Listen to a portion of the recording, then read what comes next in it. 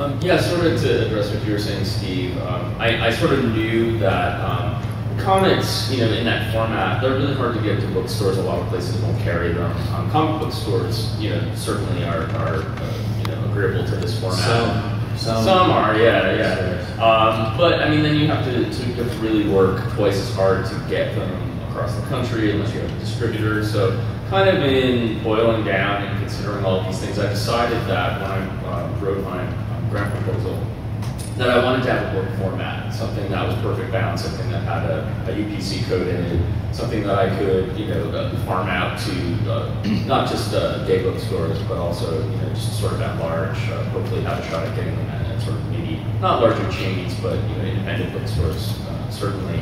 Um, and also, you know, to get it online, have something a little more compact, maybe to try and sell at Amazon or something like that. Um, so that was what I initially proposed, and I knew that the, the uh, to, to, print something like that, like maybe a 200 page perfect bound was going to be a lot of money. So, and originally sort of pitched in, in the, the PRISM grant that it was going to be partially funding that, and I was going to go out and, and, go for the Xeric and also um, privately fund it, um, personally fund it myself. Um, and in the course of winning it and uh, you know continuing on uh, working on the third issue, um, I had some interest actually from a, a, couple publishers. So it looks like it looks as though I'm not going to have to use the grant money for that anymore. So then the next question was, what do I do with this um, you know wonderful money? Um, it's not often that people give you comics, to, or I'm sorry, give you money to make comics. So um, I decided um, I would almost try and use it as a line of credit. Um, someone else used the word endowment earlier. Uh, so like a, a, prism sort of line of credit where I would keep it in a savings account, use it to print. I actually do a lot of um, publishing out of my apartment um, with my own large format printer. And I have a real like sort of art studio background, so I have no problem assembling it and stapling it. Um, so I can actually make almost on demand my own comics. So I decided to use the, the Prism um, grant money, uh, put it in the savings account. Uh, the, the, material costs are not huge for me to make this. It's more my own personal time. So uh, when I release a new issue or, or a mini like this, um, which is what I'm going to be primarily using the Prism um, grant for, as soon as I make the money back, I'm going to put it back into that savings account. So I have like a little nest egg that I can keep kind of replenishing and actually growing. And the great part of, of, that is I get to, in the inside, I haven't done it yet, but on the next mini, I get to put, you know, partially funded or actually entirely funded by the, the Prism Comics grant, um, which, you know, is obviously, I want to pay huge sort of thanks to you guys, but it also keeps getting the word out there about the Press grant itself and what you can do with it if you're willing to sort of um, you know, play around with the money and, and, work hard at actually like publishing it yourself. Um, I do print out um, uh, with the uh, actual printing presses for my sort of sequential issues, um, but I decided I did want to keep the Prism money rather than kind of using it all in one shot to, to do these little ones a couple times a year. Um, and uh, yeah, that's that's sort of where I'm at right now with it. I haven't started, but next year, uh, especially, well, probably after date, but for WonderCon, those are going to be the first issues that I actually start publishing with the grants. uh, I also I had a, a, mini comic of Glamazonia's Adventures, um, and I ended up, uh, the, my proposal for the grant was to do a collection, um, for a, a, book collection with a spine. So Perfect means you know, spine and ISBN numbers, so, so, you can actually sell that through the, the bookstores as well as the comic book stores. Um, and what I realized is that, you know, eventually that uh, this project was kind of bigger than I really wanted to be self-publishing, um, especially doing something that was you know, full color and, and the size that it was going to be. Um, so I'm going to be working with a publisher as well, um, Sam, in fact. of sounds incestuous, doesn't it? Um, but what I what I did was I ended up using the money to make more, you know, another couple of runs of the mini comic, which I've been able to, to sell, and then also um, to pay. I, I brought in uh, another illustrator, Diego Gomez, who's really quite talented. Um, to help me to um, illustrate one part of the book. Um, so I was able to you know, pay him with that money as well. So all the money has gone back into the Glamazonian project, just in kind of different ways than I expected. Uh, I, I, don't feel bad about that. I mean, I think that, you know, now speaking where I, am on the other side now of the grant uh, process, where I'm kind of you know, reviewing applications, um, a big part of that application, you know, grant process is um, uh, showing that you have a business plan. And it's very important to have that business plan there and you know solid and well thought out. Um, but it's, it's less, it feels to me that it's less important exactly if, if things happen exactly as that plan you know, delineates, as opposed to, um, you know, you, you, really want to show that you are serious about this, that you're going to be producing comics with the money, um, and you know, that you'll be getting the work out there. You know, the Prism doesn't want to throw money into a kind of black hole. Uh, and, and, you know, a lot of there's a lot of wonderful creators out there who just don't who make great work but don't have the kind of drive or business savvy to actually get the work out to the public. And you don't want the um, the grant money to go to people that will just kind of sit on it um, and not actually put the work out there. How the work gets out there exactly is less important. As long as it's not going for you know bloomers and luxury hotels, because we're not dealing with we're not out control candidates or, or uh, anti-gay expert witnesses, I guess. Um, so you Unless it's right uh, fuel for an autobiographical comment. which well. Yeah, yeah. That's just research. Right? research. Honest, it's research. Um, curious, how many of you, first of all, have any of you uh, submitted material for the grant before? Good, nothing will be thrown in the house. That's, that's a victory. Uh, how many of you are thinking about it? Yay. Cool. Um, Justin got right up to the edge of talking about the process, so do you want to say a little more about what the process and the timeline looks like, and all the things that we expect people to submit, you know, not, you know, bodily fluid samples or anything? Yeah.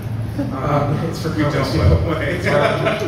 they don't do that. Well, I mean, I, I, think we're all pretty proud of it in the sense that it's it's the only other um, uh, major kind of, or the only other grant for independent comics, as far as I know, in, in, in the States besides the Xeric, um, which was, uh, for anyone who doesn't know that, it's also another great grant to check out, the Xeric Foundation. They, uh, was created by uh, uh, Laird, uh, no, the other one. Oh, Peter Peter um, uh, of Teenage Mutant Ninja Turtles. Um, he used the money that he, the, you know, some part of the huge amount of money that he made to, to, help support independent uh, comic books self-publishing comics. Um, obviously, the Queer Press grant is more specifically targeted to LGBT uh, independent comics. But um, so you know, the, we, we, have a we've actually changed the deadline uh, this year to be September 15th. Uh, it used to be October 1st, so FYI. Uh, September 15th is the application deadline, um, submission deadline. And what we're going to do is actually announce the winners at the Alternative Press Expo in San Francisco, which is October 15th and 16th, or 16th and 17th. Um, so in the past, we've had problems where, you know, given that we're a nonprofit, volunteer organization, you know, have, have problems getting everyone to kind of, you know, uh, review the applications in time, and you know, so oftentimes it would be several months before between the, you know, the, the application deadline and then actually you know, announcing the, the recipients, and that we want to get away from that. So we, we, we changed the deadline slightly. So September 15th is the is the submission deadline and we'll be release, releasing the, uh, the, the, results on, at APE. And that's going to be a that's going to be a pretty hard deadline. So uh, what I'd recommend that you do, since the the call for submissions basically starts as soon as the um, grant is awarded for the year. I mean, you, you can submit it any time during the year after that deadline. I'd recommend that you go ahead and try to submit maybe a month early so that you have time, because if there's something missing or incomplete, or if we have a recommendation, let's you can change in your, your proposal, we can always work with you to, to do that because we want your uh, submission to be as complete as possible also. We all want you to submit the best possible submission you can. So try to do it uh, early so that we have time to fix any issues. Perhaps you guys could clarify for people who've never written a business plan before, because I, I know that certainly wasn't my background when I was writing, and I've, I've done two now, one for Xeric and for, and for the Prism. But in terms of my understanding, the business plan isn't the same as if you're like doing a real corporation. It's just basically a list of pragmatic steps you're going to take to get the book out there. Is that right? Yeah, I mean, and, and the, the, the format is flexible, and, and you can kind of uh, you know create it to your needs. Um, I think the most important thing to know is, is that you've done some research into yeah. who the players are and, and who distributors are and how you're actually going to get this into stores because it's it's really not a case of if you build it, they will come. They will not come. They will not care one way or another who, what you're doing. And you have to make every client yourself. I've seen that happen to creators who like uh, produce incredibly beautiful work, get it all printed, you find out who the printers are, right, which is a whole other issue. Like, you know, you find out who the printers are and pay the printers, and then you get the, the work back, but then didn't take the extra step to find out what the distribution system was and what the retail system was. So, Right. you know, there's there's you know it, there are a number of steps to get from you know from your your pa- your, your brush to the you know to the actual finished product. And then It's- involved in that is uh, advertising, outreach. Uh, how can you stretch your advertising dollars, which are going to be rather thin?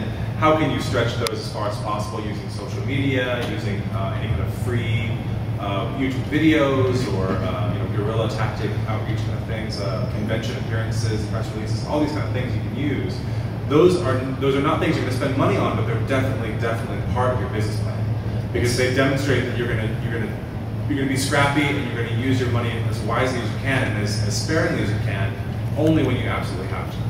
And even something like setting a price point. I mean, if you deal with Bookazine, who's a, re- actually a pretty gay and lesbian friendly uh, distributor, or even Diamond Comics, they take 40%, they, they pay you for about 40% of the cover price. So if, if your book's selling for 10 bucks and it costs you $6 a copy to print it, then you have, then you're, you're going to be, uh, It's all for the losing- love You're that losing money. Yeah. That, that actually happened to me in my, my first uh, series, Two Travel Tales. I, um, which I, I, um, yeah, I, I ended up printing a bunch of these, and, and every time I sold through Diamond, I lost thirty cents. I think that's kind of sad. But you make up We for it in volume. Oh yeah, just in the sheer artistic joy of it. So. So are any of you considering uh, not print projects, but web projects? That's also completely uh, viable, and I think increasingly the, the, the world of, of comics is moving, uh, you know, as with all publishing, moving over to web-based. So, and this is a really interesting moment for in, in terms of comic publishing and publishing in general. So, um, having, you know, we're very flexible in terms of uh, what the what these kind of business plans look like because the, the world of publishing is so up in the air right now. and no one knows what the new paradigm's going to be. So, if you've got some ideas, put them in your business plan.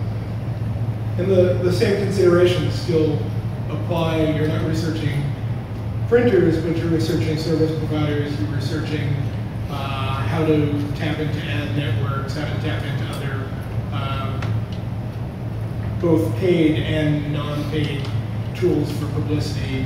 Um, potentially uh, electronic publishers as well. Um, Sam?